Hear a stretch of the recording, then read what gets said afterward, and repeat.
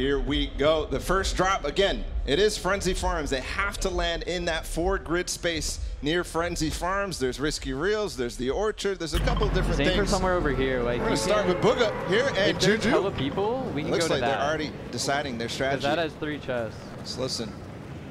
The first tactical. I'm gonna try to get like a really good job for the house though, or the billboard. Ooh, so we knew that Risky was going to be a primary location here for players that were I put trying my to get shoot high. There's like directly inside. Man, the pressure so already. are Just seeing here. the Okay. players landing right next to each other.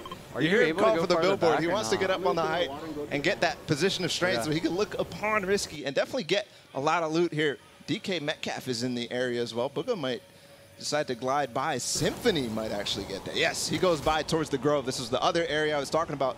Two, Actually, or I four, might be getting three 50-50 chest there, if spawns I'm real with and a you. lot of loot. He's going to land on the even see either. legendary There's chest here. This is going to be an me. ideal situation for Bugha right now because he's going to get Okay, all I three have chests. And kind of to himself now, look, he's backing Bro, up. He's just trying to see. play this lay of the the land. bush actually. If you can get to me, I'll give you a gun. This is smart. There's also the mushrooms. He doesn't necessarily have to use these. Baker Already some Mayfield. eliminations going down in the field. Kurt Benkert, who is the most hyped NFL player going into this, is already actually. down Yeah, and yeah, out, but Aiden is backing him up.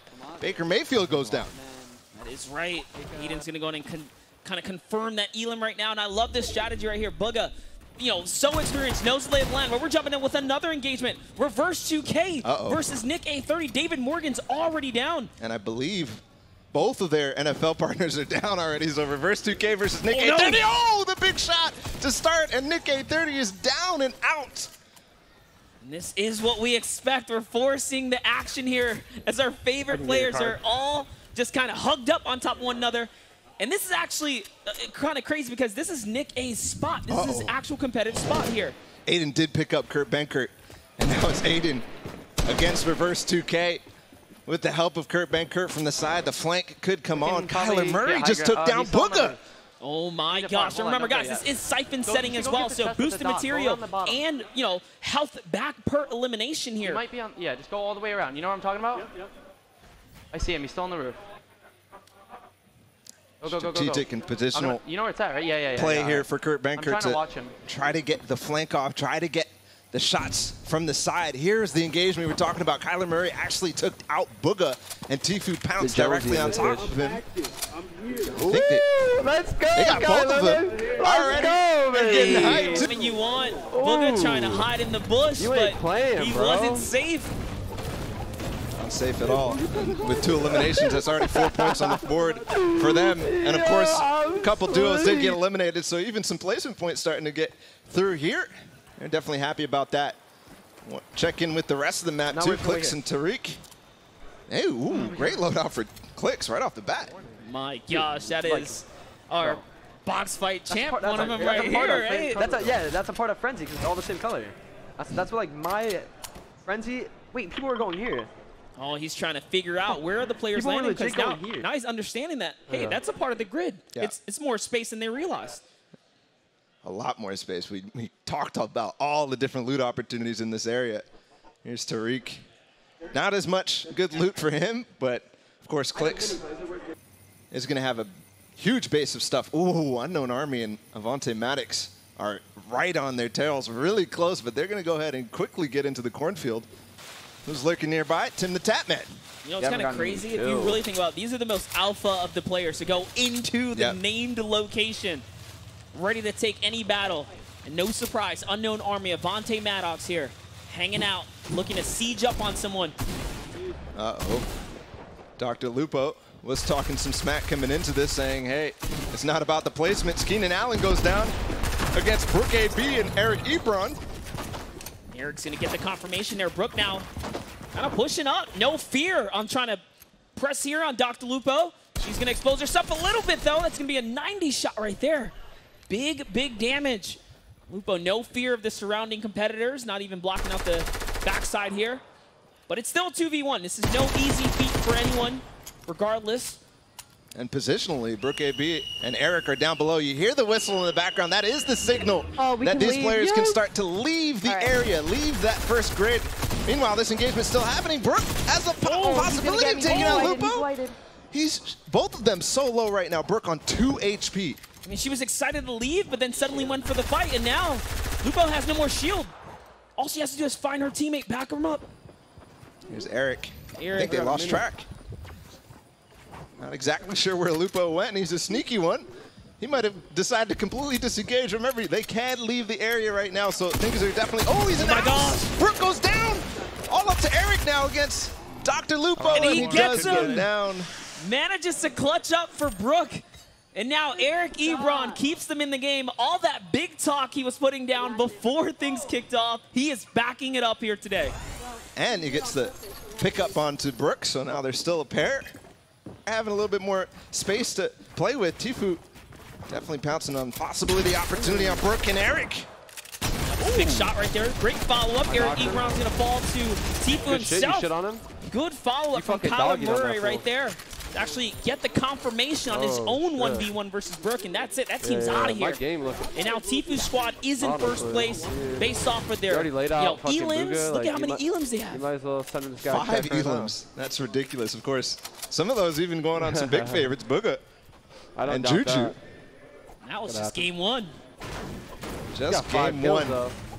Five eliminations. That's 10 points already for this team, plus the placements that are Yeah. occurring there. In Uh, first what was I place, I gonna think a clear lead. Just gonna, oh, just gonna.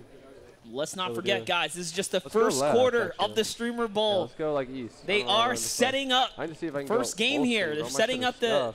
You know the, the stakes here to take it off for the charity. This is a great advantage they have now. So many eliminations, only 32 of these players obviously coming into this hot spot right here. I'm surprised we don't see them inside of a house just taking it Oh, down. okay, whoa, whoa. Chill, chill, chill. Chill. Uh-oh. Dude, dude's right ahead. You see him? You see him up there? See him up there? Oh, Don't shoot. he Go was this way, go this way. We're not, we're not contesting that. The strategies are coming out. No! Chap! Already knocks him from range. 136 meters. Get it. And just like that, his teammate Chill, falls chill. So he's alone. fast. He's alone. He's, he's, in, he's in where I'm at. Hey, someone come to the right. No, no, no. The right? What do you mean the right? No, no, the other way. Yeah, yeah, yeah, yeah, straight, right? The other right, I, I the other I see him, I right. I don't think he's coming over here, though. Okay. Let him go. This is definitely it. Trying not to engage, trying not to get too close to anybody because it's very important. You want to get all the placement points that you can, but don't forget, every single elimination is a little bit more incentivized I than what you're when used to if you're watching competitive Fortnite or Fortnite in general. Meanwhile, Chapman setting up a different strategy here. He has control of this side of the map here. He can storm hold. He can Yeah, do a look at number of different things. Polos' fo- face right now. And oh, Oh, no, no. here comes in the big nades. Those are actually perfectly angled there at 81 meters. Set them in. Los Pollos off to the races there. I gotta get out of here. He's hunting. I was going to say, you can hear the banter coming in towards Chap from behind because they're in the same little running right pocket into right, there. our own Chap and, Chap and Yeah, Los They're are next to each other. directly next to each other in terms of the location inside this arena. You can hear him going off. Ooh. Oh, what a team to run into when you're trying to run away from one of the most prolific Fortnite players. Chap, you run right back into Nickmercs. Lowest guy. Instantly takes him out. Horrible. There it is. Mercs is now going to find All right, all himself another one here, and that's going to be a nice little upgrade for him. And here I'm, comes I'm the getting, zone. I'm getting this harpoon. Nah, there's no shield. I'm getting this harpoon. You gotta watch your back, okay? That that's all the way up southeast or some shit, or east, east, east. So far away, the He's shots looking at you. He's looking at coming you. Coming in. Definitely trying to Chap. ensure. Oh, is it Oh, Chap? gotta yeah, come with me, like- possibly, definitely could. He threw those grenades too, so that's a tool you can use to kind of push people away and opt or push them into not going after you. Let me see kind if of a you, yo, tell me if you see any holes to fish. All right. You hear me? Nick Merckx trying to make the best use of the harpoon here while he can here. The river is just on the outskirts of the zone. He's not going to find anything beneficial right now, but hey, at least he finds You gotta, himself you gotta get up on me. a little way to the zone here. So far, this is the pair that I think has been playing further than the ex- expectations. Nickmercs definitely wanted Mike the entire draft. He was talking about it before the draft, bro? even Who was that? when they were playing together. Nice. Ooh, even more Like that, cohesion like with the that. Who harpoon. you just killed recently? Making sure right on his tail. Oh, Lowe's, yeah, yeah. But I wish I would have killed him. Oh, And there it is, Mike. Just expressing that he wants to get in there, get some action going. And they're going to be one of the, probably one of the last to rotate into the zone, as you've seen kind of just from the other perspectives. Players are already getting there. They're setting up, kind of figuring out what they want to do now. This is where things are going to shift gears a little bit. We're going to. Yeah. go into more uh, old-fashioned Fortnite, right? Yeah. Normal, normal kind of movement and rotations. You can see perfect players to tune in with right here. A little think it might be. slower stage of the game dude. now as people start to hunt and find all the different players who are kind of stuck right now. Tfue taking some shots of his own. There is the third zone revealed, right on top of retail. So good position from them. I gotta say, they are fearless right now. Several eliminations here on Tyler. Ooh, the And- oh, great shot. He's gonna find a little hole down there in the pixel that was exposed. Yeah. And now What a Tyler, shot. he's gonna want to slide up here. Hey, I want to see another one of those. That's ridiculous. Kyler showing off. Oh, got Oh, fucking no. lasered. It's a it's player. right I, I, gotta, I gotta back Tfue up. basically loses the HP that Kyler gained on Could this be advantage Aiden or here. something. Or it, honestly, it might be Nick Merck. Oh, he's trying to call out, trying to figure out exactly who it is so he can maybe decide, is this worth engaging? It's actually Symphony and DK Metcalf. You thought they were controller gamers for a second there with how fast he got hit with the dual shots coming in from Symphony here. Hey, do you have an RPG? Uh, I do not. I do not. I have four rockets for you though. Look at that loadout. It's ridiculous. Oh ridiculous. wait, there's people up there. the amount of Um, heals. it might be this is best- let's go perfect for this scenario where, go back in. you know, it's not uh, head the same direction we heavily just came from. chaotic So wrap endgame. We need to. Little does he know, Kyler Murray is now fallen here officially. And the zone is going to favor upwards towards them as well right here. The rest of the lobby is so lucky right now that they are all kind of focused on each other because if these guys, there's three big names up here, Tfue, Clix, and Aiden, look down over towards Retail Row. I don't think a single person would survive trying to make that rotate up. Definitely not here, but take a look at the side shot. This is the view of what's going on. Good. Just can get a better understanding from the him. outside looking in. Aiden just really situated up right now. And they're just on the edge of the zone here in the half in, half out. The zone's going to be cutting up across here. So now Retail Row is no longer safe. Everyone has to move Yeah, on out I'm just chilling now. and head back up to the zone here. He's stressing out. So if you remember Chat, Symphony, DK Metcalf, and all them, they did have to move up towards the bottom of the hill. That's why they're all based up on the bottom. Nickmercs did make his way up with Mike Evans. Chap still up in the game by himself. Mike Evans does get tagged a little bit up from the high ground. Who did actually remain on high ground? It was Clix and Tarik Cohen. Huge advantage going into the moving zones. Good, good, good. All right. But I do Follow remember Tim no, the no, Tap we, we Man stay, we had stay, an we stay here. We so stay here we'll and wait see. for all of them to rotate. Yes. This is the call. This is exactly what you were talking about. So many opportunities here for Clix and Tarik Cohen because it continues up. If you look We're at the top right high, of the okay? screen, it continues north, away from retail, away from the base of the hill that we pointed out earlier. Now the shots are coming in. Might be at the base of this mountain. Remember, Tfue's just recycling all those materials as well that he had before. Tim the Tatman's going to find Mike Evans, though, so it's going to be a rifle shot right there. And then Nickmercs responds right back, takes out get me, get Tim. It's the end of that, I believe. He's going to have Chap to... still making the rotation. Reverse coming up right behind him. It's true. He left Mike in the dust there. So now it's good old-fashioned competitive players on this other side of the map here. Reverse Chap, Nickmercs, all on top of one another. And that's the engagement happening right there as they're pouncing on this rotation. You have to cut across here. No. But it does go very, very far down the hill onto low ground, which is why immediately Chat decides to pounce because that high ground that Clix had up above, it's easily knocked down if he looks back. Ooh, the RPG coming in. Definitely a scary moment for Chap. And then many players coming in from the sides. And that was his wall right there. Great find on Metcalf who let his guard down. He's going to fall to Chap.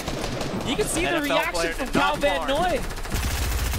He's still cheering his teammate on the trap, but that's not going to be enough. Nickmercs takes him out. He also goes down because he got fuck, hit by the same trap Chap had him on. Clix and Tarik still up on high ground. Tfue in zone. He has a couple of fish to work with. Break their build. Symphony against Aiden down Ah, on low ground too. He took out Kurt. get him. Benkert. Stay high, stay high. I'm good, I'm good. All right, now, now just laser them. Just Get me, look- get me. You good? Check your map. Great hold Shoot right them, here. them. looking for the Full stop compact shots right there. Don't Someone's trying to build up though. And it's Tfue finds himself in the height here with the RPG. They Little don't know. do they know. They don't Big know. shot comes in and the follow-up right No there. way. Down goes a player. And now Tfue's got every No advantage way, in his pocket right now. Against all odds, Ball. He's turning it around. 1v1. Here it is. Tfue up on height. He 20 took it from Clix and Tarik Fuck Cohen. Unbelievable that he did that. Pulled it out. I was surprised myself. It's now Tfue against Symphony in the last one, last battle of this game. Number one of the Streamer Bowl. Here we go. It's coming down to it. Symphony's just trying to P90 him from the low ground, trying to knock him out. Got to be careful of any elevation changes. RPG still coming up, and materials running low for Symphony. He could still do this if he gets the shots that he needs. That is true. He has no heals right here, but great follow-up with the RPG. And now it's time to put it all on the table here. The big 50-50 from Tfue. Let's see what's going to happen right now as he's deciding whether or not he wants to do it. There goes the classic shot. Can he do this, Balla? A good old-fashioned 1v1 right now. The fake out with the wall. Playing the block line of sight, and he does falls right down.